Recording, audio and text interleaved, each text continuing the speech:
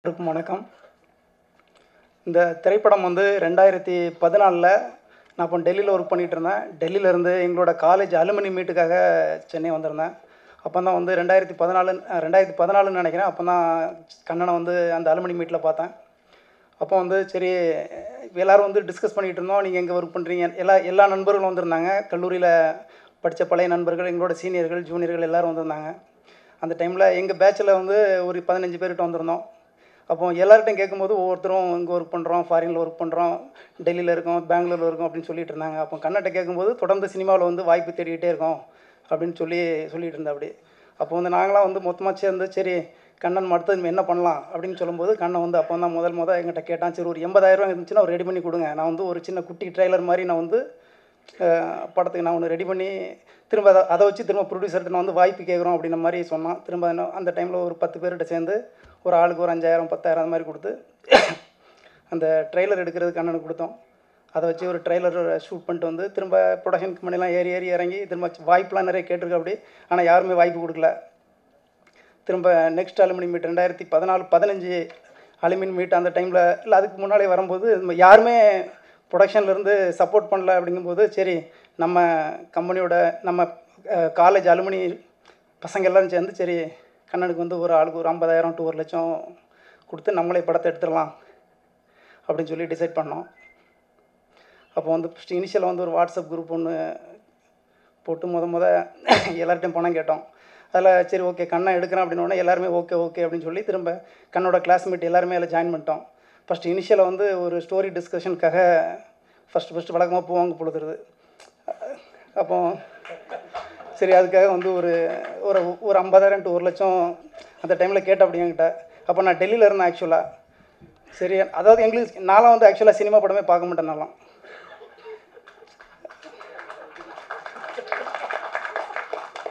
சரி கண்ணன் கேட்குறான் அப்படின்னு உடனே சரி நம்ம பசங்கிட்ட அது என்னோட என்னோட டிபார்ட்மெண்ட்டில் நான் மெக்கானிக்கல் டிபார்ட்மெண்ட் கன்னட மெக்கானிக்கல் டிபார்ட்மெண்ட் ஆக்சுவலாக அப்போ சரி என் பசங்கிட்டலாம் கேட்டு சரி நிறைய ஃபஸ்ட்டு இனிஷியல் டைமில் கொஞ்சம் கொடுக்கல. அதனால் ஒரு நாலஞ்சு பேர் இருந்தோம் ஆளுக்கு ஒரு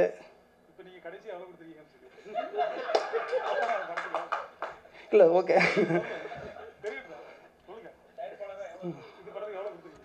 சரி அது ஆக்சுவலாக பார்த்தீங்கன்னா இது தயாரிப்பாளராக நான் வந்து ரெண்டாயிரத்தி பதிமூணுலேருந்து ரெண்டாயிரத்தி பத்தொம்போது வரைக்கும் வந்து பத்தாயிரம் ஐம்பதாயிரம் இருபதாயிரம் அப்படி கொடுத்து கொடுத்து கிட்டத்தட்ட இருபத்தஞ்சு லட்சம் முப்பது லட்சம் கிட்ட கொடுத்துட்டே இருப்பேன் ஆக்சுவலாக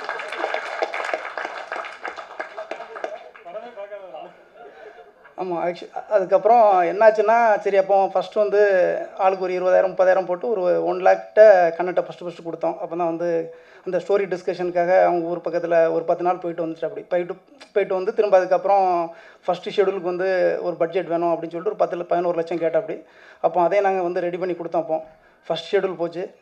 அப்போ வந்து கொஞ்சம் கொஞ்சம் ஒரு ஒரு ஒரு ஃபிஃப்டீன் மினிட்ஸ் ஒரு டுவெண்ட்டி மினிட்ஸ்க்கு வந்து ஒரு ஃபுட்டேஜ் எடுத்துகிட்டு வந்து எங்கிட்ட காமிச்சா அப்படி. அப்போ அதை கண்ணை வந்து டெல்லிக்கு வந்து அதை எங்கிட்ட போட்டு காமிச்சான். அப்போ எங்களோட டெல்லியில் வந்து என்னோட ஆஃபீஸ் மீட்டில் அவங்ககிட்டலாம் நான் காமிச்சேன் ஆக்சுவலாக கண்ணனுக்கு அங்கே ஒரு ரூம் போட்டு கொடுத்து. அது என்னோட இப்போ டெல்லியில் ஒர்க் பண்ணுற அந்த எங்களோட என்னோட ஃப்ரெண்ட்ஸு அவங்களாம் கூட்டு போய் காமிச்ச உடனே இந்த ஒரு இந்த சாங்ஸ் எல்லாம் ஃபஸ்ட்டு எடுத்துகிட்டு வந்திருந்தான். பார்க்குறதுக்கு ரொம்ப நல்லா இருந்தது. ஆக்சுவலாக சரி அப்படி அதை காமிச்சு திரும்ப எங்கள் பசங்கள்ட்டலாம் திரும்ப போட்டு காமிச்சோம். அப்படின்னு எல்லாத்துக்கும் நிறைய ஹோப் வந்தது. திரும்ப எல்லாருமே திரும்ப ஒரு கொஞ்சம் பணம்லாம் எல்லாருமே கொடுத்தாங்க. அதுக்கப்புறம் பார்த்தீங்கன்னாச்சுன்னா ஃபஸ்ட்டு இந்த படத்தில் ஹீரோ வந்து அம்சத் கான் இருந்தபடி ஒரு ஒரு three to four days first ஷூட்டிங்கில் அவர் இருந்தபடி திரும்ப அதுக்கப்புறம் நெக்ஸ்ட் ஷெடியூல் போகும்போது என்ன ஆயிடுச்சுன்னா அவங்க வேறு படத்துக்கு நடிக்க போயிட்டாங்க ஆக்சுவலாக அப்போ ஹீரோ வந்து இல்லை என்னால் ஷூட்டிங் பண்ண முடியாது அப்படின்னு உடனே சரி உனக்கு புது ஹீரோ மாற்றலாம் அப்படின்னு சொல்லி திரும்ப வேறு புது ஹீரோ போட்ட அப்படி அவர் இப்போ இந்த ஹீரோ. ஆக்சுவலாக சரி. அப்போ நான் ஃபஸ்ட்டு ஒரு ஃபஸ்ட்டு ஒரு அஞ்சு நாள் ஷூட் பண்ணது எல்லாம் வேஸ்ட்டாக போச்சு. சரி அப்படின்னு சொன்னோன்னே திரும்ப அதுக்கப்புறம் பசங்க அதாவது ஒரு ஆள் பணம் போட்டிருந்தா ஈஸியாக சரி யார்ட்டையும் கன்வின்ஸ் பண்ண தேவையில்ல. அதுக்கப்புறம் திரும்ப எல்லாத்துட்டையும் போட்டு ஃபோனை போட்டு கான்ஃப கான்ஃபரன்ஸ் காலில் மோகன்ராஜ் வந்து ஒரு நிசானில் ஒர்க் பண்ணுறாரு சென்னையில் ஒர்க் பண்ணுறாரு நான் டெல்லியில் இருக்கேன். அவர் பெங்களூரில் இருக்கார். ஆக்சுவலாக அங்கேருந்து நான் வந்து பேசுவோம் ஆஃபீஸ் முடிச்சுட்டு வந்து வர்ற வழியில் ஒரு மார்க்கெட் உண்டு அங்கே. அங்கே போயிட்டு எல்லாத்துக்கும் கால் போடுவோம் மொத்தமாக கால் போட்டு நம்ம நெக்ஸ்ட் ஷெடியூல் வந்து ஒரு பத்து நாளில் வேணும். அப்படின்னா அதுக்கு ஒரு ஃபண்டு வந்து ஒரு முப்பது லட்சம் ரெடி பண்ணணும் அப்படின்னு சொல்லுவோம். அப்படி சரி ஓகே நாங்களும் அப்படி இப்படின்னு ரெடி பண்ணி ஒரு தேர்ட்டி லேக்கிட்ட ரெடி பண்ணி கொடுத்தோம். அப்போ ரெண்டாவது ஷெடியூல் போனோம் அப்படி. ரெண்டாவது ஷெடியூல் முடிஞ்சுது. அதுக்கப்புறம் ஒரு சின்ன ஒரு அடுத்த ஒரு சின்ன ஒரு குட்டி பிரேக் போட்டு அடுத்தது ஃபண்டை வந்து ஜென்ரேட் பண்ணோம். அந்த டைமில் என்ன ஆயிடுச்சுன்னாச்சுன்னா ஹீரோயின் வேறு படத்துக்கு போயிட்டு அப்படி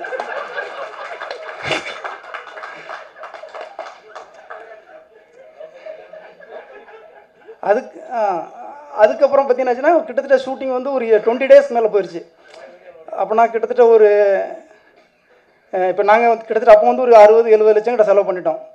திரும்ப அதுக்கப்புறம் கேட்டாச்சுன்னா அடுத்த நெக்ஸ்ட் ஷெடியூல் ஏறலாம். அது கிட்டத்தட்ட ஒரு ஒரு ஒன் மந்த் கிட்ட கேப் அதுக்கு அடுத்த ஷெடியூலுக்கு வந்து நாங்கள் ஃபண்டு பண்ணும்போது ஃபண்ட்லாம் கலெக்ட் பண்ணிட்டு போகும்போது ஹீரோயின் வந்து இல்லை. சரி புது ஹீரோயின் தான். கொஞ்சம் பஞ்சாயத்துலாம் நடந்துச்சு. அது கிட்டத்தட்ட ஒரு அப்போ அந்த பஞ்சாயத்து என்ன நடந்ததுலாம் எங்களுக்கு தெரியாது. ஆக்சுவலாக நாங்களாம் வேறு இடத்துல இருக்கோம். கண்ணன் எல்லாத்தையும் டீல் பண்ண அப்படியே. சரி கடைசியில் என்ன சொல்லிட்டேன் அப்படின்னா சரி இந்த படம் வந்து ட்ராப் ஆயிரும். இனிமேல் வந்து பண்ண முடியாது. அப்படின்ற மாதிரி சொல்லிட்டாங்க. சரி இருந்தாலும் சரி ஒரு நம்ம ஒரு ஐம்பது பேர் அறுபது பேர்கிட்ட பைசா வாங்கியாச்சு. படத்தை நம்ம வந்து ரிலீஸ் பண்ணுறோமோ இல்லையோ? படத்தை எப்படியாவது முடிச்சிடணும் முதல்ல அப்படின்னு சொல்லி கண்ணட்டு நான் சொன்னேன் ஆக்சுவலாக கண்ணட்டு மட்டும் இல்லாமல் இந்த ப்ரொடக்ஷன் உள்ள எல்லாத்தையும் சொன்னோம். திரும்ப ஓகே நம்ம இவ்வளோ நாள் எடுத்த படம் படம் ஃபுல்லாக வேஸ்ட் ஆகிட்டா கூட பரவாயில்ல. திரும்ப நம்ம ஃப்ரெஷ்ஷாக வேறு ஒரு ஹீரோயினை போட்டு எடுத்துடலாம். அது ஆக்சுவலாக இந்த சினிமாவில் அந்த மாதிரி எடுக்க மாட்டாங்க பொழுது. ஒரு பாதி தூரம் வந்து யாரும் போயிட்டாங்கன்னாச்சுன்னா ப்ரொடியூசர் வந்து விட்டு போயிடுவாங்க பொழுது ஜென்ரலாக இல்லை ஆக்சுவலாக ஆக்சுவலாக அந்த ப்ரொடக்ஷனில் வந்து எங்களுக்கு தெரியாது எதுவுமே. அங்கே ப்ரொடக்ஷனில் வந்து எப்படி படம் எடுப்பாங்க எப்படி என்னென்ன நடக்குங்கிற விஷயம் எங்களுக்கு யாருக்குமே தெரியாது ஐம்பது பேருக்குமே தெரியாது. இப்போ நாங்கள் வந்து ஒரு ஊராக ஒவ்வொரு ஏரியாவிலேருந்து ஃபண்டு மட்டும் நாங்கள் வந்து கலெக்ட் பண்ணி கண்ணட்டை கொடுத்துக்கிட்டே இருப்போம் கண்ணை வந்து பார்ப்போம் படம் எடுத்துக்கிட்டு இருப்போம். ஆக்சுவலாக ஸ்டேட்டஸ் மட்டும் கேட்டுக்குவோம். ஆனால் அதில் இன்ட்ரெஸ்ட்டாக இருக்கவங்க எல்லாருமே வந்து அப்பப்போ ஃபோன் பண்ணி கேட்டுக்குவாங்க எனக்கு படம் என்ன கண்டிஷனில் இருக்குது ஆனால் எடுத்ததெல்லாம் போட்டு காமிப்பான் ஃபுட்டேஜ் மட்டும் காப்பான் நல்ல பிரமாதமாக இருக்கும். ஃபஸ்ட்டு உள்ள ஹீரோயின் வந்து ரொம்ப நல்லா இருந்தது. நல்லா அது பார்க்குறதுக்கு வந்து பார்த்தீங்கன்னா இல்லை நல்லா இருந்ததுன்னு அப்படி சொல்லு. அதான் என்ன சொல்கிறேன் அவரோட அவுட்புட் சொல்கிறேன் இருந்தது. திரும்ப அதுக்கப்புறம் எங்கள் பசங்கிட்ட ஐம்பது பேர்கிட்ட போட்டு காமிச்சோடனே சரி ஓகே இந்த ஹீரோயின் நல்லா இருக்குது அதனால் இந்த ஹீரோயினே வந்து கண்டினியூஸாக படத்தில் நம்ம வந்து முடிச்சிடணும் எப்படியும் அப்படின்னு சொல்லிட்டு திரும்ப நாங்கள் வந்து இப்போ டெல்லியிலேருந்து நானும் இங்கே சென்னையில் இந்த மோகன்ராஜ் அவரும் வந்து ஃபோன் பண்ணி அந்த ஹீரோயினே வந்து கண்டினியூ பண்ண வைக்கலான்னு சொல்லி நாங்கள் ஃபோன்லாம் பண்ணி கேட்டோம். அது கண்டிப்பாக முடியாதுன்ற மாதிரி ஆயிடுச்சு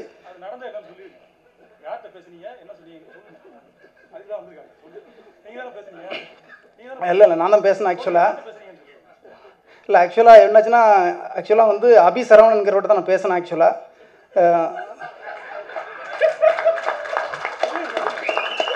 இல்லை. இல்லை இப்போ அந்த டைமில் வந்து அந்த ஹீரோயின் வந்து அப்போ அந்த அவர்கிட்ட தான் இருந்த அப்படி.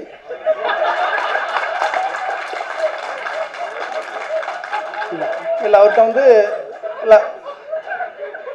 ஆ இல்லை ஹீரோயின் பேர் பேர் வந்து அதிதி. ஆமாம் இப்போ இல்லை அவங்ககிட்ட அப்போ வந்து என்ன சொன்னோம் அப்படின்னாச்சுன்னா சரி ஷூட்டிங் வந்து கிட்டத்தட்ட ஒரு டுவெண்ட்டி டேஸ் முடிஞ்சு போச்சு. இப்போ வந்து நீங்கள் இந்த மாதிரி இப்போ நடிக்க வரல அப்படின்னாச்சுன்னா திரும்ப இப்போ நாங்கள் போட்ட பணம்லாம் வந்து வேஸ்ட்டு நாங்கள் ஒரு ஆள் கூட ப்ரொடியூஸ் பண்ணல. நூறு பேர்கிட்ட ஐம்பது பேருக்கு மேலே வாங்கியிருக்கோம் பைசாவை. அதனால் நீங்கள் வந்து பேலன்ஸ் படத்தை முடிச்சு கொடுத்துருங்க அப்படின்னு சொல்லி திரும்ப ரெக்வஸ்ட் பண்ணி கேட்டோம். அவங்க என்ன சொல்லிட்டாங்கன்னாச்சுன்னா சரி இந்த மாதிரி உங்கள் டேரக்டர் வந்து ஹீரோயினை வந்து ரேப் பண்ணுன்னு சொல்லிட்டு த்ரெட்டன் பண்ணியிருக்க அப்படி அதனால் சரி இப்போ வந்து அவளுக்கு பாதுகாப்பு இல்லை. அப்படி இப்படின்னு சொல்லிட்டு அப்படிங்கிட்ட நாங்கள் ஒன்றும் சரி அப்படின்னாச்சுன்னா நீங்கள் வந்து ஒரு ஆள்லாம் நீங்கள் கூப்பிட்டு வந்து சேஃப் கார்டாக வச்சுக்கோங்க நீங்கள் அந்த நடிக்கும்போது வந்து நடித்து கொடுத்துட்டு போங்க அப்படி இப்படிலாம் பேசி பார்த்தோம். இல்லை இல்லை அவர் என்ன பண்ணிட்டாருன்னா அதுக்கப்புறம் நான் வந்து இல்லை போலீஸில் கம்ப்ளைண்ட் கொடுத்துருவோம்.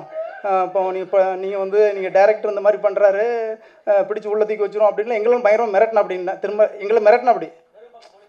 ஆமாம் ஆமாம் திரும்ப அது நிறைய பிரச்சனைலாம் நடந்தது. போலீஸ் ஸ்டேஷன்லாம் அதெல்லாம் பஞ்சாயத்துலாம் நிறைய நடந்திருக்கு. லாஸ்ட்டில் சரி ஃபைனலாக வந்து கண்ணன் வந்து திரும்ப வேணாம் புது ஹீரோயின் போட்டு எடுத்துக்கலாம்னு சொல்லிட்டு புது ஹீரோயினை போட்ட அப்படி திரும்ப அதுக்கப்புறம் பார்த்தீங்கன்னா புதுசில் ஃபஸ்ட்லேருந்து எடுக்கணும். திரும்ப அதுக்கப்புறம் எங்கள் ஆள்கிட்டலாம் பேசினோடனே அப்போ சரி என்ன பண்ணுறது அப்படின்னு சொல்லிட்டு திரும்ப அதுக்கப்புறம் ஃபண்டெல்லாம் ஜென்ரேட் பண்ணி திரும்ப ஒரு கண்ணன்ட்ட கொடுத்தோம்.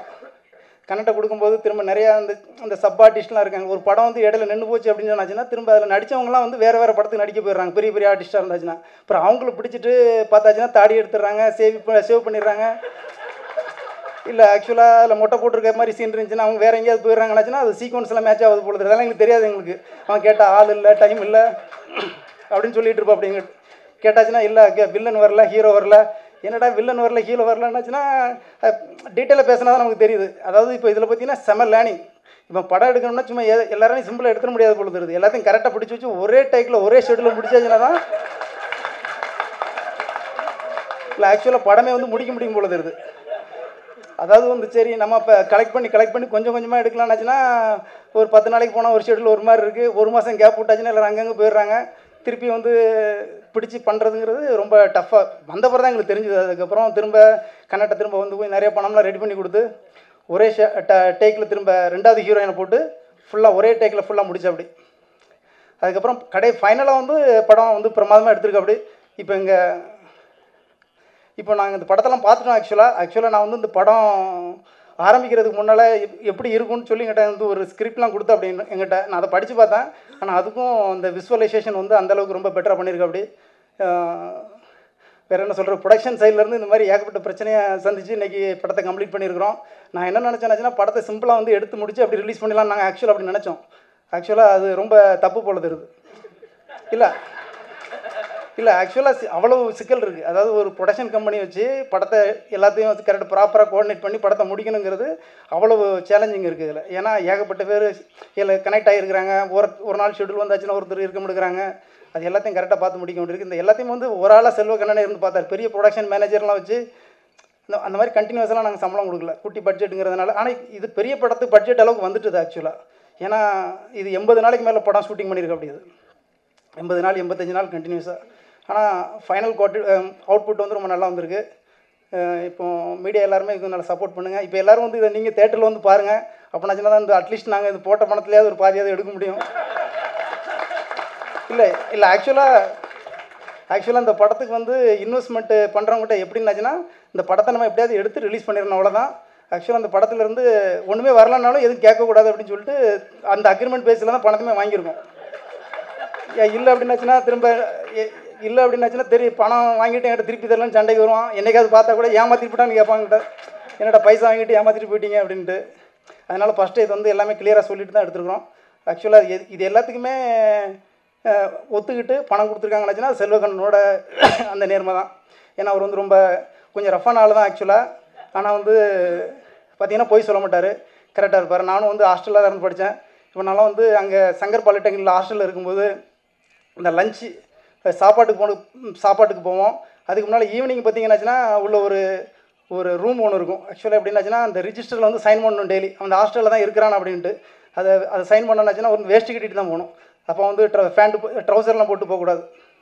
அப்படிங்கும்போது அந்த டைமில் தான் செல்வக்கண்ணனும் எனக்கும் நானும் ஒரே ரூம் கிடையாது. அவர் வந்து ஒரு சைடு எண்டு நான் ஒரு சைடு எண்டு அப்போலாம் நாங்களாம் போனால் கையெழுத்து போட்டு வந்துடுவோம் ஆனால் அவர் வந்து பயங்கரமாக கிரிக்கெட் பார்ப்பா அப்படி அப்போ பார்த்தீங்கன்னா அங்கே வந்து ஸ்போர்ட்ஸ் டுடே அப்படின்னு ஒரு ஒரு மேகசின் வரும்.